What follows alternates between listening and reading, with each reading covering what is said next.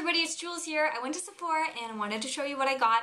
Um, it was a VIB 15% uh, off event and I always take advantage of that. I think it's a great time to pick up those repeat items that you need. Uh, so yeah, I'll just get started. Uh, one of the repeat items that I did get and I always get is my Bare Minerals foundation.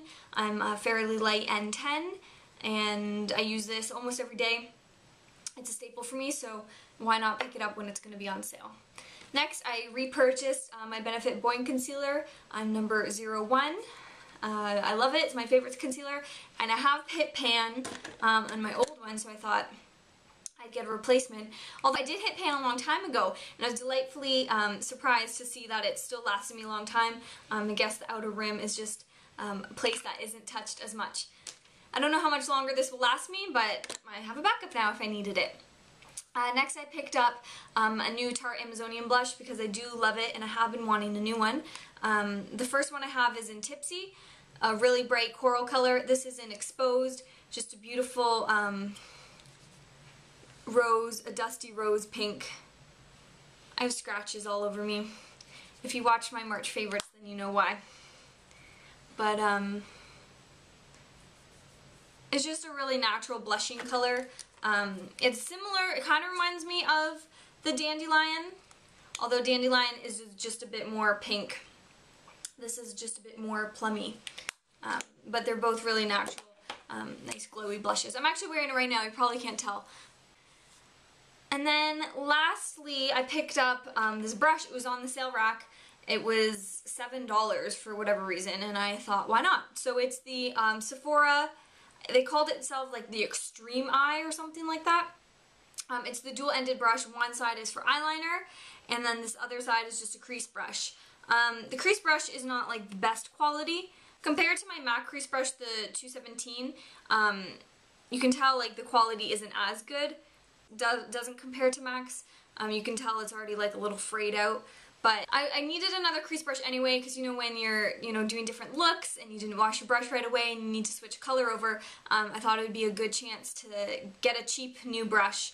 The eyeliner brush is a brush that gets dirty really quickly and you can't reuse it once you've used it once. So this is my MAC one. It's the special edition 212. Um, very comparable. And so I thought that was a good one, a good repeat brush to have when one is dirty. So $7, I thought you couldn't beat it, even if it's not if it's not the best quality, I do have um, the originals in MAC, so. Then because I did go on the Thursday, I guess the first day of the sale, I got the umbrella, which is still in the trunk of my husband's car.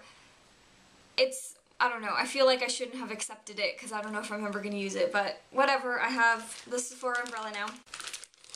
Lastly, just, just going through my little goodies quickly. Um, it was a pretty good one, so I was happy with that. We have the Sephora Full Action Extreme Effect Mascara in the little package here. Um, I really like Sephora mascara, so I am excited to try that, but I'm not going to open it yet. Um, we have a sample of uh, Viva La Juicy um, perfume, Bubble, Bumble and Bumble Thickening uh, Shampoo and Conditioner. Really good to bring these kind of things when you're going to a hotel just for one night. And then we have the Givenchy Mr. Light Instant Light Corrective Pen.